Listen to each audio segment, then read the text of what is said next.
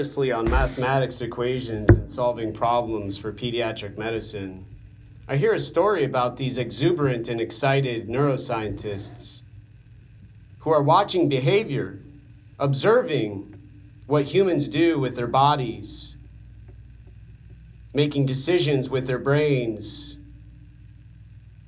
and neurons and synapses connecting to their arms and legs in empty stadiums empty fields where soccer players normally run, score, kick, and pass, with fans cheering in a crowd now.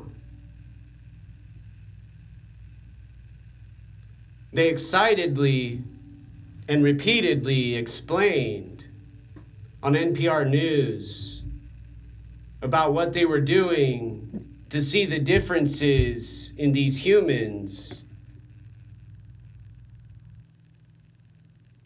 information they were providing them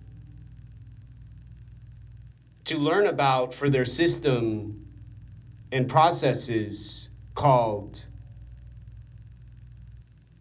science. In other words, humans who are aware there's other humans and have heard a word called freedom in the past.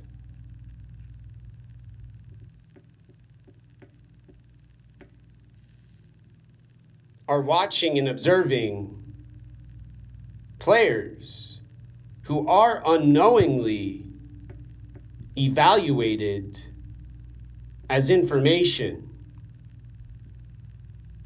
while at the same moment, giving them stimulation. And for all of those viewers on those television channels, a reward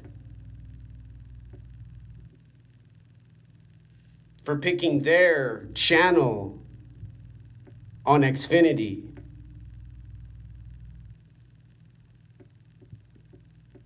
Cable provider. As an example now. These neuroscientists are using a system of psychiatry and psychology with processes involving procedures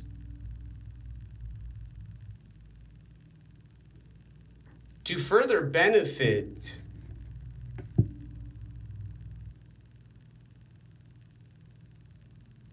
emotion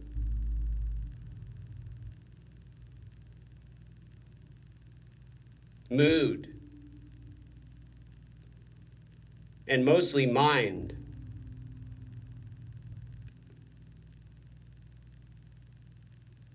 However, a less racist, restricting, and controlling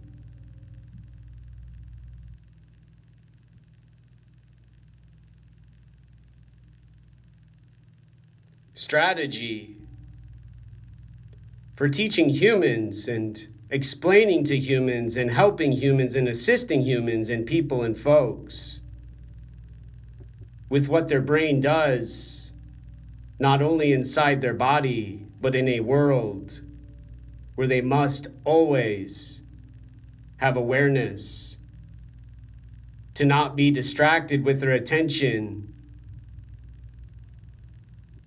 losing their concentration and focus in an important time called coronavirus pandemic.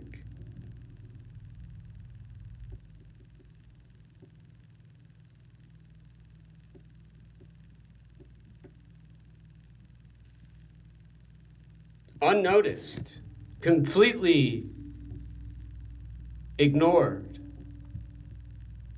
denied by the army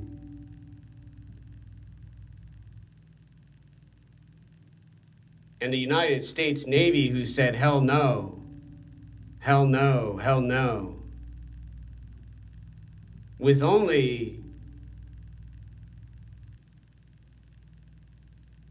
no options, no motivation, no inspiration, And nobody who doesn't want to live in this world of have you ever had or, or, or, or have you ever had someone say to you are two are two are two are two dollars in your pocket for me? I need some food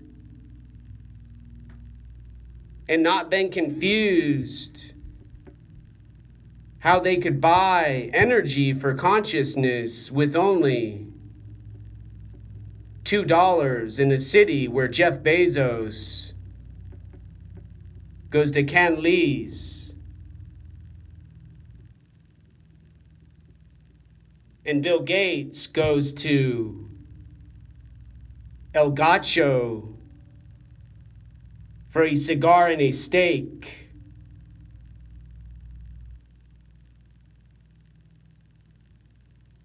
and other trillionaires and billionaires and millionaires order Grubhub instead of some soggy Domino's pizza filled with sodium, with their groceries delivered by Amazon.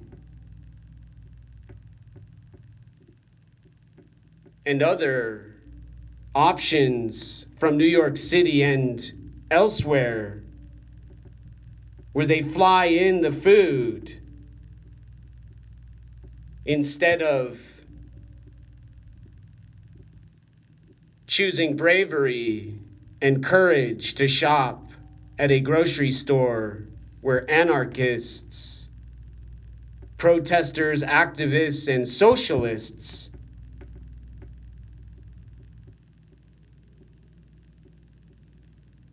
have already started to limit those calories and meats,